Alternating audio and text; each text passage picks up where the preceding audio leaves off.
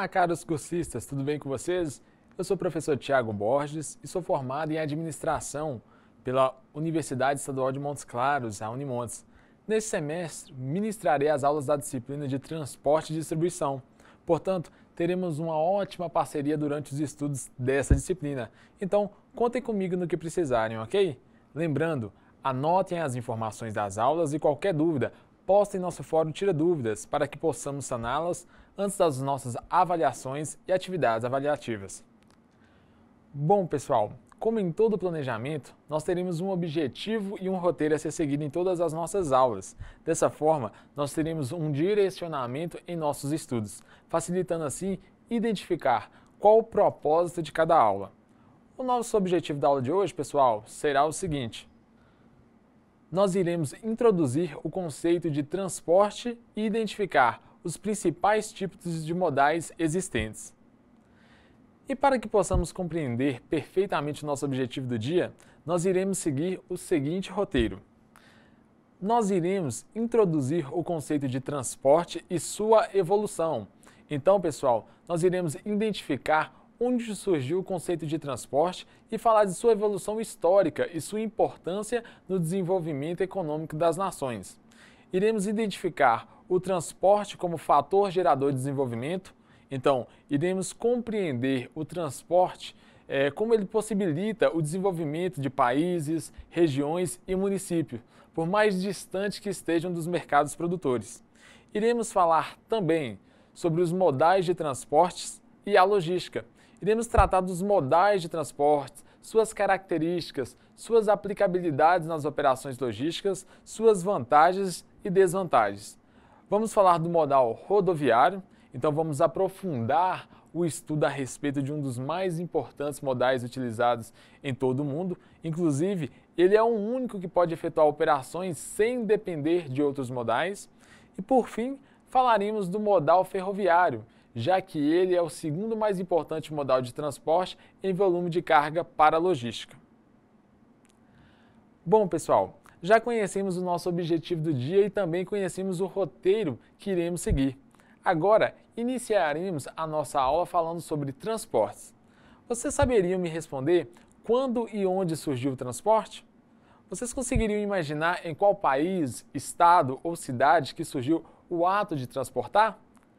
Pois bem, pessoal, se tratando do período exato do surgimento, nós não possuímos uma precisão científica, porém, podemos deduzir que essa atividade de movimentar materiais e pessoas de um ponto para o outro de maneira inteligente tenha surgido junto com o aparecimento do homem sobre a Terra.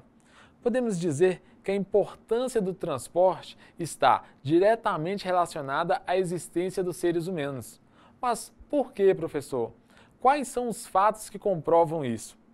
Bom, pessoal, desde o momento em que o homem deixou de ser nômade e passou a fixar-se em determinados locais, o homem sentiu a necessidade de movimentar coisas do local em que elas se encontravam para o local onde haviam estabelecido sua permanência.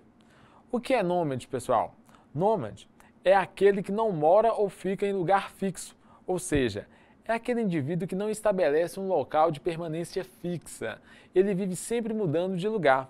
Então, desde o momento que o homem abandonou o nomadismo, ou seja, a partir do momento que os povos passaram a estabelecerem moradias fixas, eles passaram a ter a necessidade de transportar coisas para a sua moradia.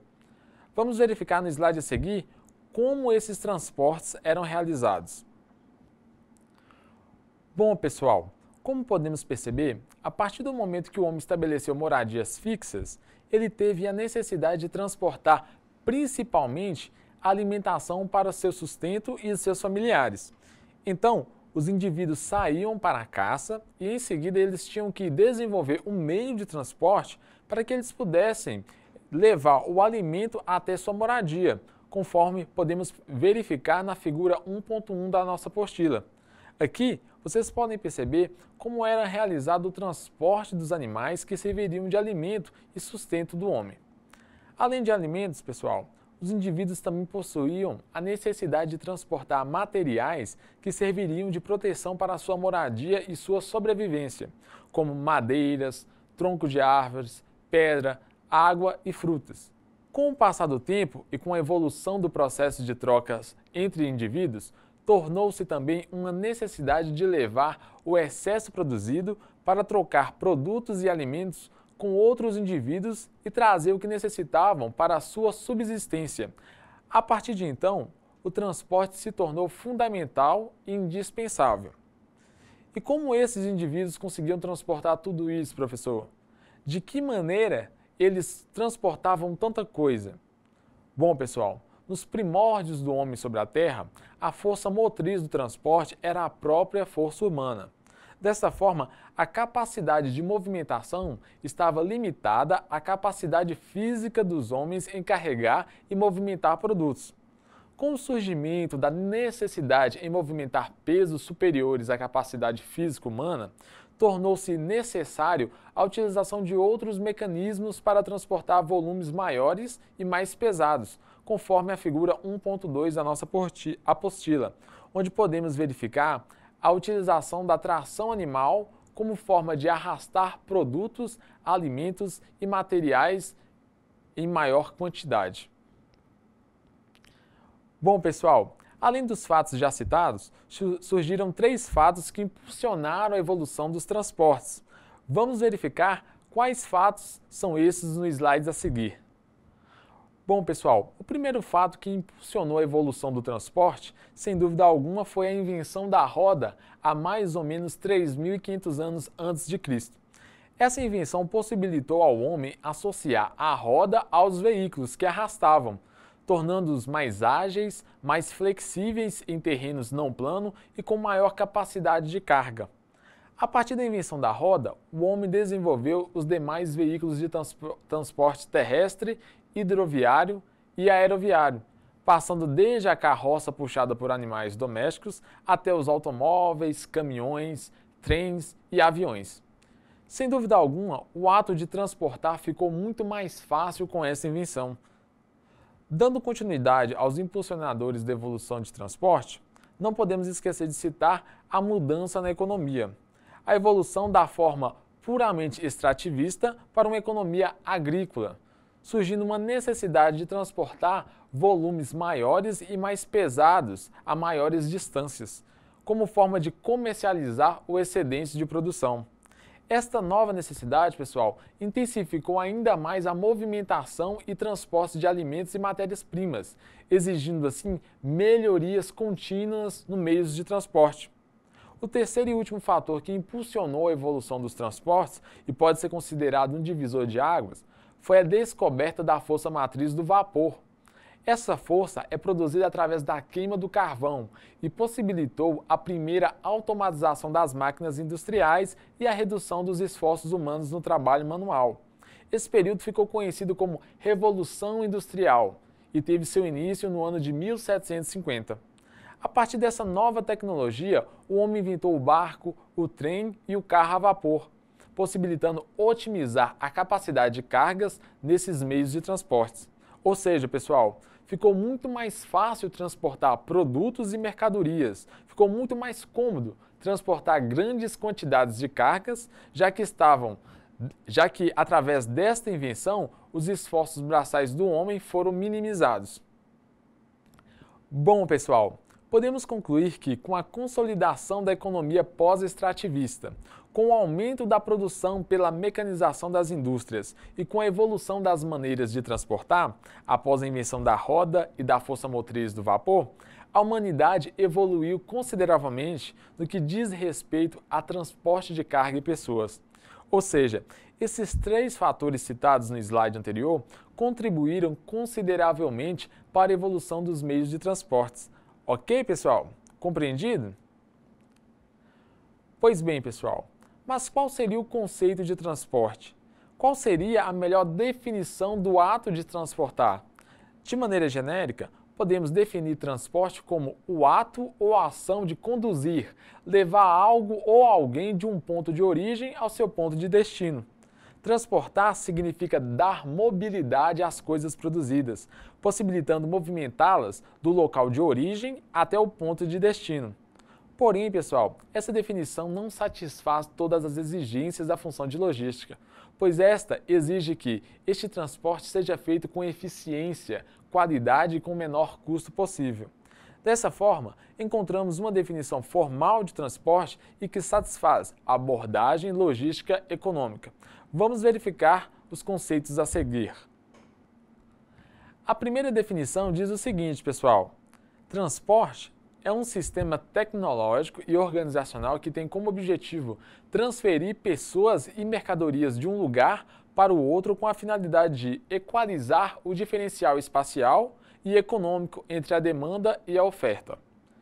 Outro conceito encontrado que também satisfaz as exigências da logística é transporte é o deslocamento de bens de um ponto a um outro da rede logística, respeitando as restrições de integridade da carga e de confiabilidade de prazos não agrega valor aos produtos, mas é fundamental para que os mesmos cheguem ao seu ponto de aplicação de forma a garantir o melhor desempenho dos investimentos dos diversos agentes econômicos envolvidos no processo. Ok, pessoal? Compreendido o conceito de transportes? Pois bem, agora que já sabemos o conceito de transportes, vamos compreender por que essa função é vital nas operações logísticas. Bom, pessoal, o transporte se torna uma função vital porque ele é um fator decisivo no desenvolvimento econômico das nações. Os países mais desenvolvidos economicamente no mundo, os países que são líderes no comércio internacional e potências economicamente mundiais, são aqueles que possuem melhor infraestrutura de transporte. Podemos citar como exemplo os Estados Unidos da América, Canadá, a França e a China. Então, pessoal, um sistema de transporte eficiente que permite a utilização de todos os modais, o rodoviário, ferroviário, o aquaviário, aeroviário e o duto viário, e, mais que isso, o sistema que permite a integração entre os modais, torna-se fator decisivo no desenvolvimento econômico das nações. Mas por que, professor? Justamente, pessoal, porque o sistema de transporte é vital para o comércio interno e externo. Ele é vital para a fixação dos custos de bens e serviços, composição de preços, regulação dos mercados, a utilização das terras e urbaniza a urbanização dos países. Além disso, pessoal, o sistema de transporte eficiente é vital para amparar os setores da economia, como a agricultura, indústria, a mineração e o turismo. Será através de um sistema integrado e eficiente que poderá ser transportados alimentação, matérias-primas, vestuários e equipamentos essenciais em nosso comércio e na indústria. Um sistema de transporte eficaz pode melhorar também o acesso a, serviços indispensáveis para o progresso das nações, tais como saúde e educação. Compreenderam, pessoal, o motivo pelo qual o transporte se torna componente mais importante e necessário de qualquer sistema logístico? Pois sem ele, os produtos não serão movidos fisicamente de um local para o outro para complementar a transação comercial e gerar desenvolvimento econômico. Sem ele, a transação comercial ficará estagnada apenas na negociação e não concretizará a entrega do produto físico ao seu comprador. Então, pessoal, através de uma visão estratégica do sistema de transporte, podemos afirmar que um sistema de transporte eficiente contribui para três fatores. Vamos verificar quais são eles. Bom, pessoal, então podemos dizer que um sistema de transporte eficiente contribui para os três casos abaixo. São eles: aumentar a competição no mercado, o país que tem melhor transporte pode disputar, disputar de maneira mais competitiva fora de suas cercanias, ou seja, ir mais longe e mais rápido, reduzindo as distâncias logísticas. Ele pode garantir a economia de escala. Quanto maior for o volume transportado, menor será a influência dos custos nas mercadorias exportadas. E ele também reduz os preços.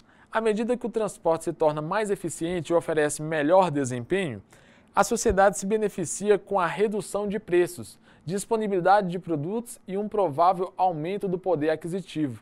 Seria basicamente a lei da oferta e da procura. Quanto mais produtos disponíveis no mercado, quanto mais produtos transportados, menores serão seus preços. Bom, pessoal, Agora que já sabemos como o transporte evoluiu, acompanhando e propiciando a própria evolução tecnológica do homem, sabemos também o tamanho de sua importância como fator gerador de riqueza, distribuição de bens e transporte de pessoas, torna-se necessário conhecer o sistema de transporte, ou seja, as várias maneiras de transportar cargas e pessoas, também conhecido como modais de transporte. O modal de transporte, pessoal, é a forma utilizada para movimentar produtos e pessoas de um ponto para o outro.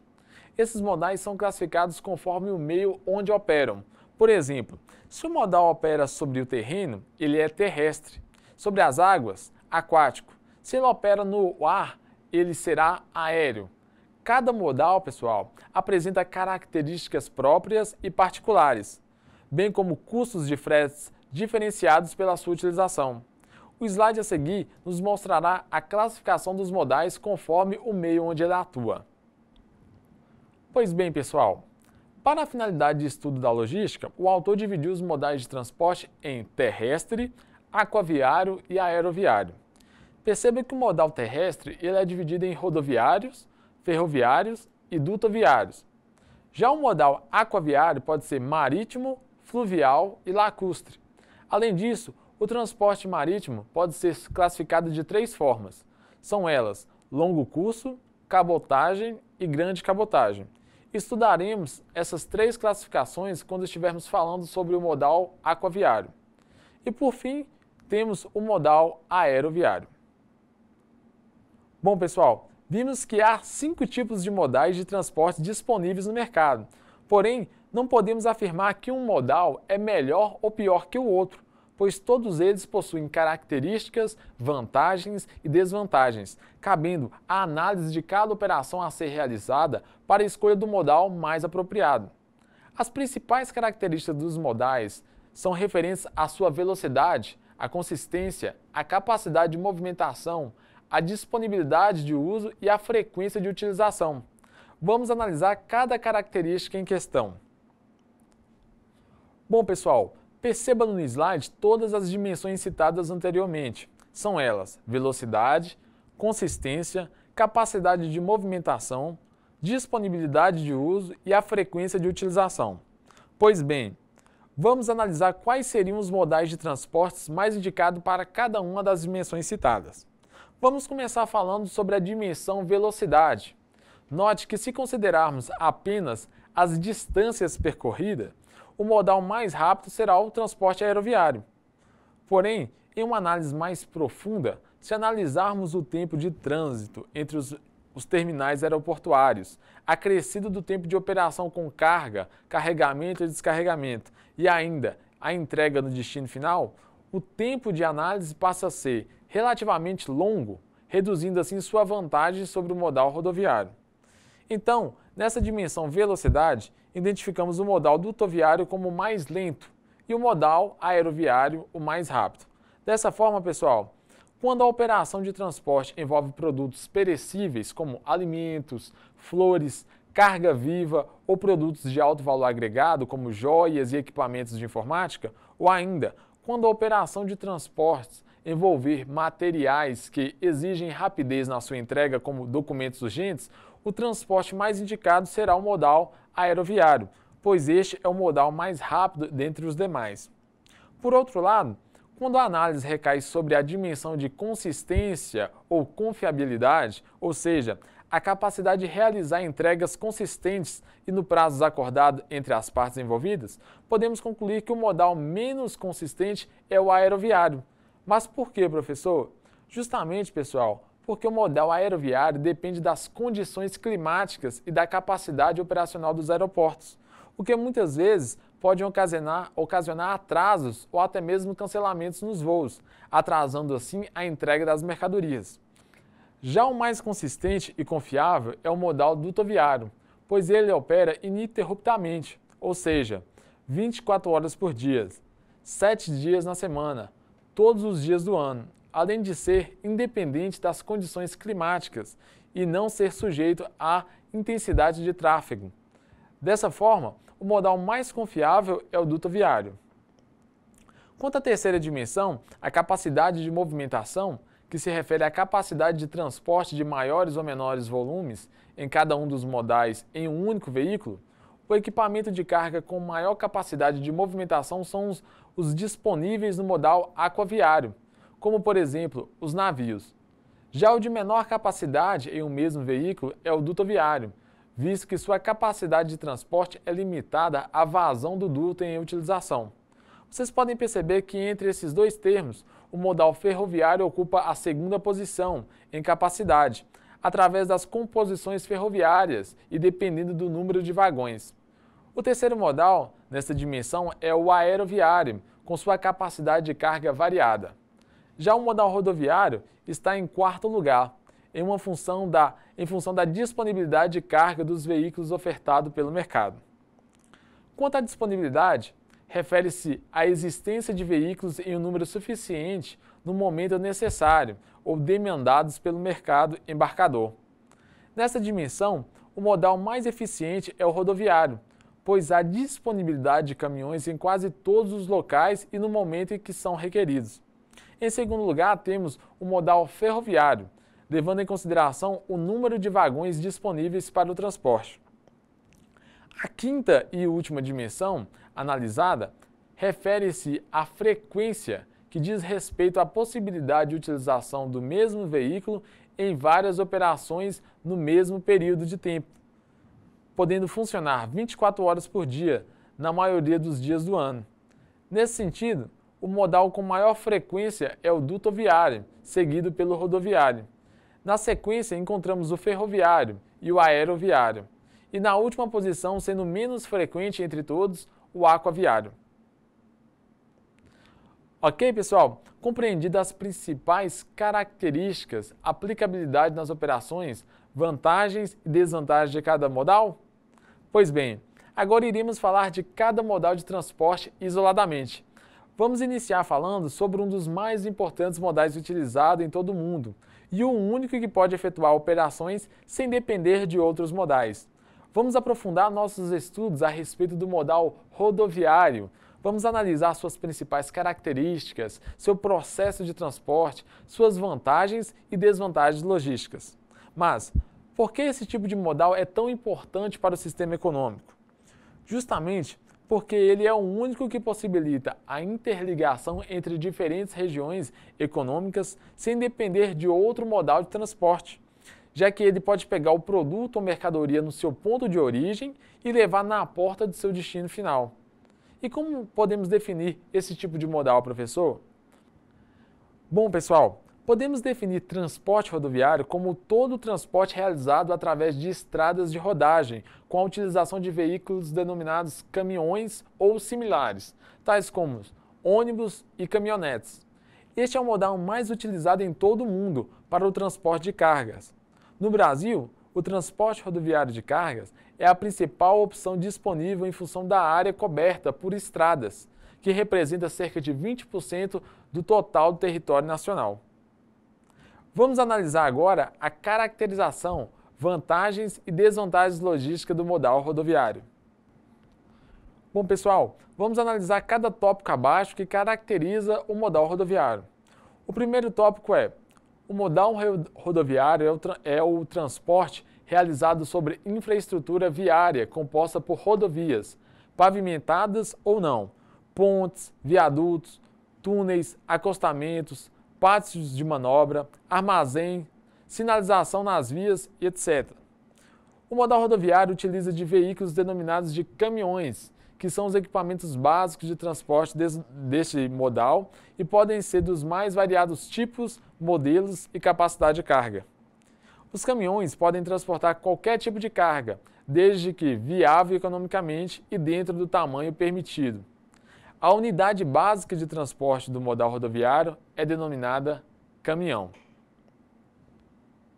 As cargas mais indicadas são de produtos acabados, semi-acabados, principalmente aqueles com peso elevado e baixo valor agregado, como as commodities, produtos agrícolas como trigo, soja, milho e produtos industrializados em geral. O modal rodoviário é o mais indicado para viagens curtas, até 300 km de distância, ou seja, melhor rendimento quando utilizado com maior frequência em, via em viagens curtas de ida e volta do que em viagens longas e demoradas. A relação tempo total em viagem e tempo em operação é de 15%. Isso significa que, do tempo total de utilização, tempo em movimento mais tempo de carga e descarga, o caminhão, em média, fica parado somente 15% do tempo total. A velocidade média de trânsito com carga é de 80 km por hora. Bom, pessoal, já conhecemos todos os tópicos que caracterizam o modal de transporte rodoviário. Agora vamos analisar suas principais vantagens e desvantagens. Bom, pessoal, vamos citar agora as principais vantagens logísticas do modal do transporte rodoviário. Bom, primeiramente, o modal apresenta flexibilidade para operar em áreas geográficas dispersas, ou seja, áreas afastadas, distantes, disseminadas. Sua operação de carga e descarga é realizada com a manipulação de lotes relativamente pequenos de carga, quando comparado com os modais ferroviário e aquaviário. Dessa forma, o tempo de carregamento e descarregamento é inferior comparado aos demais modais citados anteriormente. O modal rodoviário possibilita a execução de serviços extensível e adaptado a quase toda operação de transporte. Ele é indicado para executar serviços rápidos de transporte. O único modal que consegue realizar entrega em domicílio ou porta a porta, ou seja, ele consegue carregar o produto no ponto de origem e descarregar no ponto de destino, sem necessitar dos demais modais de transporte para a realização do serviço alta frequência de operação e grande disponibilidade de veículos para operação de transporte. Há uma maior disponibilidade e variedade dos veículos pertencentes a este modal comparado aos demais. Já as desvantagens são apresentadas da seguinte maneira: apresenta custos elevados para operações de transportes com distâncias superiores a 300 km, ou seja, esse modal de transporte é recomendado para distâncias inferior a 300 km. O volume transportado é menor em comparação ao, ao transportado pelos modais ferroviário e marítimo.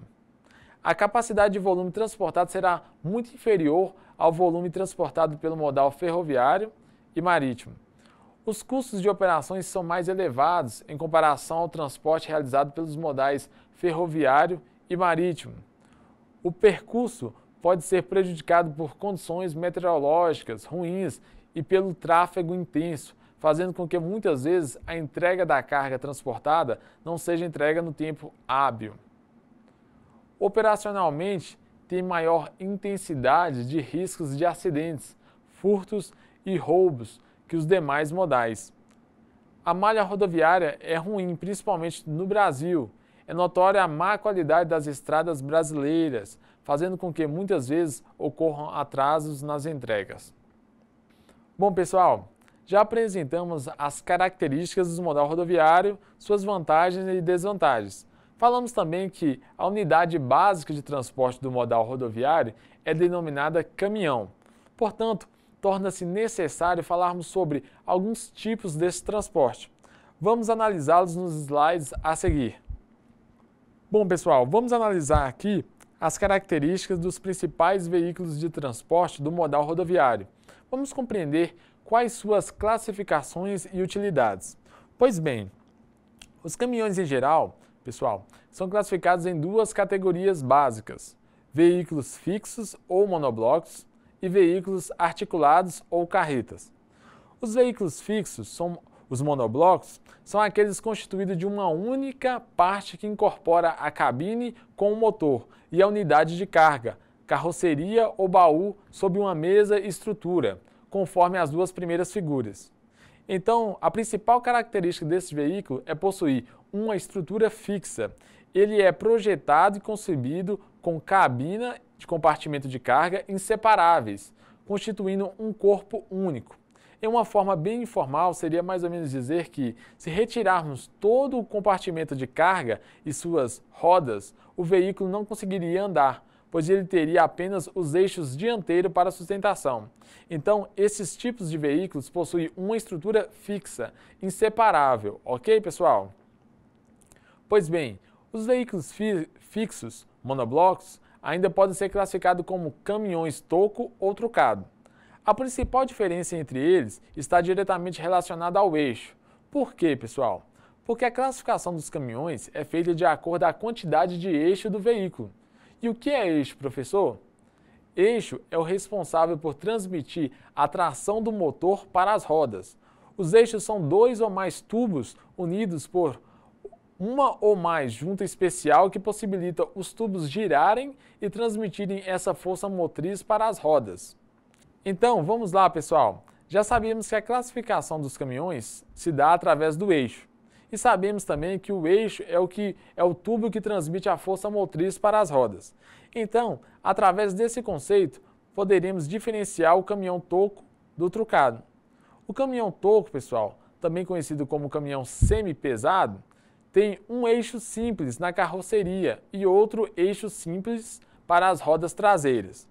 Já o caminhão trucado possui um eixo adicional atrás do eixo motriz. Este eixo é adicional para melhorar a estabilidade do caminhão e suportar maior carga. Então, nas duas primeiras figuras, podemos identificar os eixos de cada veículo e classificá-los como toco e trucado. Pois bem, pessoal, já os veículos conjugados, articulados ou combinados são compostos de uma unidade de tração denominada cavalo-trator, também conhecida como cavalo mecânico, acompanhada das unidades de carga denominadas semi-reboques, conforme a figura 4.3. A principal diferença entre os veículos fixos e articulados está justamente na sua estrutura.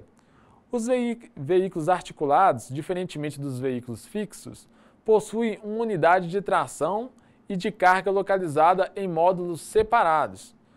O semi-reboque apoia parte de sua unidade e de seu peso ao veículo trator pelo fato de não possuir qualquer eixo em sua dianteira.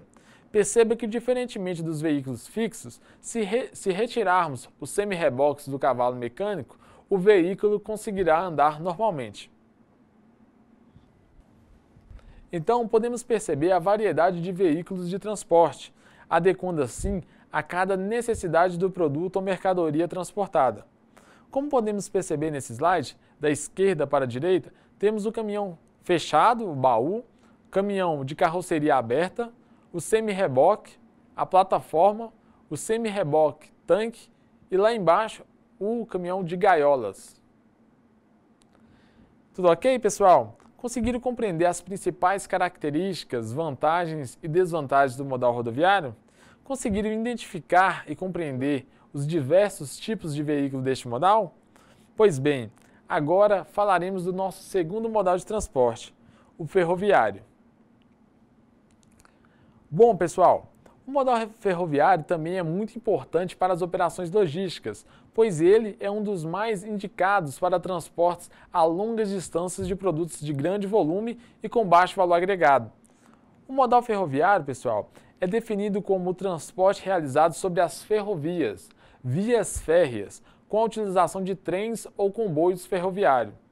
O modal ferroviário é considerado lento em comparação ao rodoviário assim mais apropriado para matérias-primas ou produtos manufaturados de baixo valor agregado. A principal razão é que a maior parte do tempo do transporte em um vagão ferroviário é gasto em operação de carga e descarga e movimentação dentro dos terminais ferroviários. Vamos analisar então as principais características, vantagens e desvantagens no slide a seguir. Conforme já dito anteriormente, o transporte ferroviário é aquele realizado sobre estradas de ferros, ferrovias, e depende da infraestrutura de pontes, viadutos, túneis, armazéns, sinalizações nas vias, cancelas e passagens de níveis. A utilização de veículos denominados de trem são os equipamentos básicos de transporte desse modal e podem ser dos mais variados tipos, modelos e capacidade de carga. Os trens podem transportar qualquer tipo de carga, desde que viável economicamente e com características de alto volume e baixo valor agregado. As cargas mais indicadas são semelhantes às cargas do modal rodoviário, ou seja, os produtos acabados e semi-acabados, principalmente aqueles com peso elevado e baixo valor agregado, como as commodities, produtos agrícola, trigo, soja, milho e café. também os produtos minerais, minério, de ferro, manganês, carvão mineral e derivados do petróleo, e produtos em geral, ratificando, desde que volumosos e de baixo valor agregado. O mais indicado para médias e longas viagens, 800 km ou mais, sendo melhor utilizado em viagens longas que permitam longos períodos de tempo em tráfego. A relação tempo total em viagem e tempo em operação é de 80%. Isso significa que, do tempo total de utilização, tempo em movimentação mais tempo de carga e descarga, o trem fica parado aproximadamente 80% do tempo total, devido às dificuldades operacionais de carga e descarga do número elevado de vagões.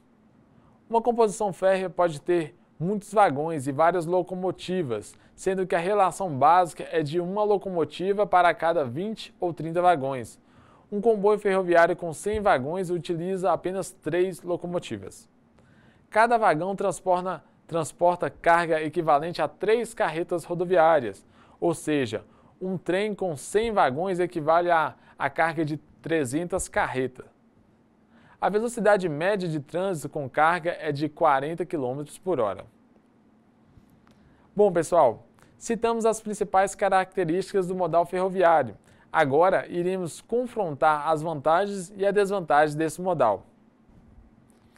As principais vantagens são as seguintes: transportam grande quantidade de carga em peso e volume por viagem, percorre longas distâncias Quanto mais longas, mais viáveis, mais viáveis economicamente, muito flexível quanto às mercadorias que podem transportar, custo operacional menor em relação ao rodoviário para grandes volumes de mercadoria. O trem mantém uma boa velocidade média para longas distâncias, em torno de 40 km por hora. As viagens não são prejudicadas por más condições meteorológicas e não enfrenta tráfego competitivo, nos cruzamentos com rodovias, os trens têm preferência de passagem. Já as desvantagens são as seguintes: apresenta baixa segurança, principalmente no Brasil. Não é economicamente viável para produtos de alto valor agregado ou pequenos volumes. Tem frequência de saída menores em relação ao rodoviário. Seu tempo de trânsito é maior que o modal rodoviário.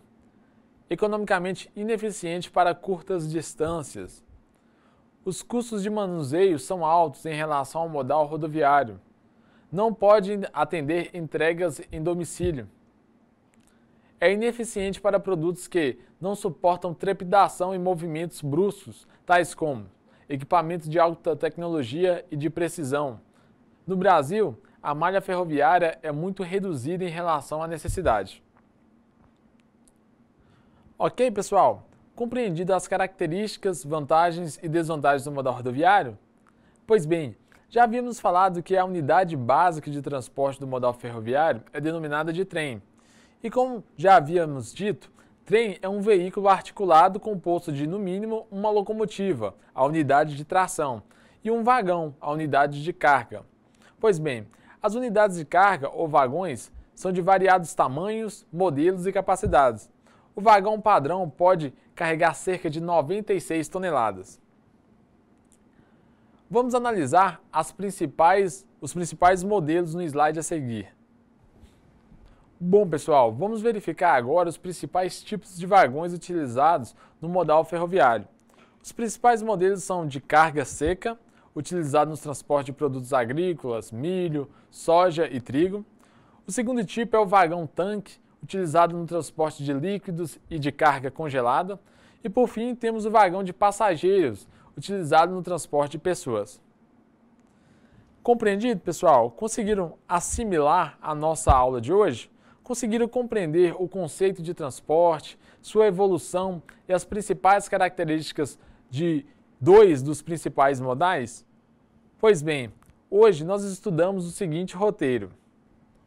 Na aula de hoje, nós definimos o conceito de transporte e falamos de sua evolução histórica e sua importância no desenvolvimento econômico das nações. Compreendemos o transporte como fator gerador de desenvolvimento. Então, exemplificamos como o transporte possibilita o desenvolvimento de países, regiões e municípios, por mais distantes que estejam dos mercados produtores. Falamos também sobre os modais de transporte e a logística. Identificamos os modais de transporte, suas características, suas aplicabilidades nas operações logísticas, suas vantagens e desvantagens. Falamos sobre o modal rodoviário, aprofundamos o estudo a respeito de um dos mais importantes modais utilizado em todo o mundo. E, por fim, estudamos o modal ferroviário, outro importante modal de transporte em volume de carga logística. Bom, pessoal, estamos chegando ao fim da nossa primeira aula. Foi um grande prazer estar com vocês neste dia. Obrigado pela atenção de todos, ótimos estudos e até a próxima aula.